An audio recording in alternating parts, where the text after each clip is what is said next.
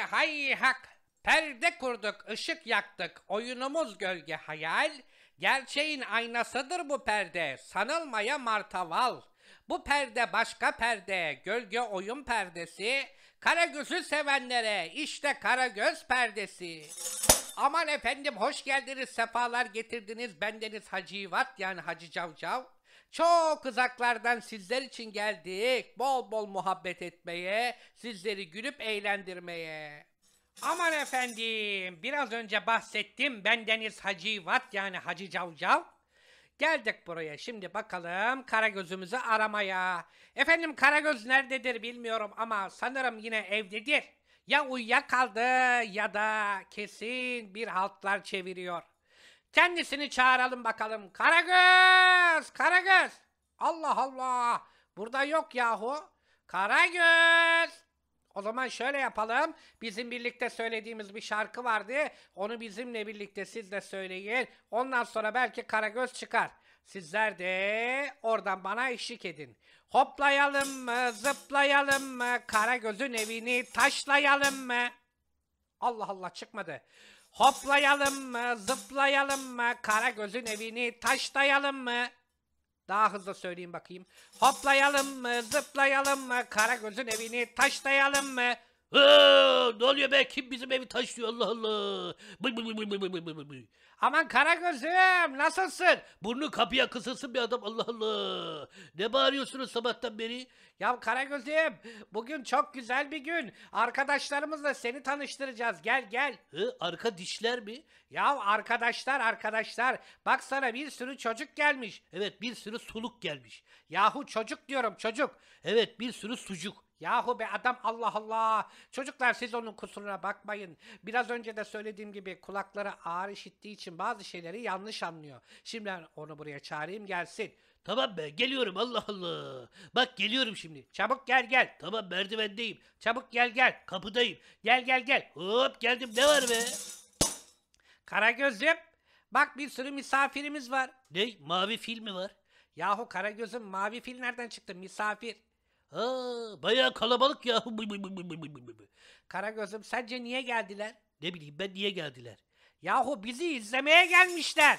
Ha, niye yahu? Biz sinema filmi miyiz? Bizi izleyecekler. Yahu biz burada ne yapıyoruz? Ne bileyim ne yapıyoruz? Yahu biz burada bir tiyatro sergilemiyor muyuz? Burada oyunlar oynuyoruz. Onlar bizi seyretmiyorlar mı? O zaman seyrediyorlarsa ben onlara bir poz vereyim. Blablabla. Karagöz'üm ne yapıyorsun be adam? Allah Allah. E izliyorlar dedin. Yahu öyle değil. Biz onlara oyun oynuyoruz. Onlar buradan ders alıyorlar. Hem eğleniyorlar hem de bizi tanıyorlar. Bana bak. Efendim baktım yahu. Bana bak dediğim öyle değil. Bana bak şimdi Karagöz'üm. 11 ayın sultanı deyince aklına ne geliyor? E, Ramazan geliyor. İşte öyle. Yine Ramazan geldi. Evet geldi hoş geldi. Yahu çocuklarla birlikte tanışmış ve onlara Ramazan'ın güzelliklerini anlatacağız. E bu sırada da bizim hikayelerimizi bol bol eğlenecekler. He anladım. Bol bol delirecekler. Ya delirmek nereden çıktı be adam? Allah Allah. Yahu eğlenecekler. Ramazan demek ne demek? Bereket demek. Ondan sonra e, komşuda pişer bize de düşer demek. Paylaşmak demek. Dostluk demek. Kendini terbiye etmek demek. Ruhunu terbiye etmek demek. Mideyi dinlendirmek demek. Bol bol birlikte vakit geçirmek demek. Açın halinden anlamak demek. Herkesin eşit olması demek. Aferin Karagöz. Hepsini doğru söyledin. Yahu peki sana bir şey soracağım. Sor sor bakalım merak ettim. Biz ülkemizde güzel güzel orucumuzu tutup iftarımızı yaparken acaba dünyada nasıl yapılıyor sen biliyor musun? Nerede yahu dünyada? Ya mesela Avrupa'da nasıl oluyordur? Gayrimüslimlerin yaşadığı bir yer düşün. Evet. E şimdi düşünsene yani bir sürü uzun yıllar bir şekilde insanlar başka ülkelerde oruç açmaya çalışmış, iftarını yapmaya çalışmış. Sence nasıl olur? Vallahi düşünüyorum şimdi çok zor olabilir yahu. Yani etrafta şimdi başka oruç tutmayan insanlar olsa bizi anlamayabilir. Ya düşünsene orucumuzu açmışız. Teraviye gidiyoruz. İnsanlar bize gıptayla bakıyor. Ama ne yaptığımızı anlatmak istiyoruz. Gidip anlatmaya çalışıyoruz. Acaba anlıyorlar mıdır? Tabii ki anlıyorlardır yahu. Ama şunu düşünsene. Özlemle bir şekilde orada yaşadığın bu güzel duyguları daha böyle istekli, daha böyle arzulu yaşadığını düşün. Çünkü ülkeni özlemişsin. Müslüman olarak orada diğer gayrimüslimlerle birlikte olsan da bunu güzel güzel yaşayabilirsin.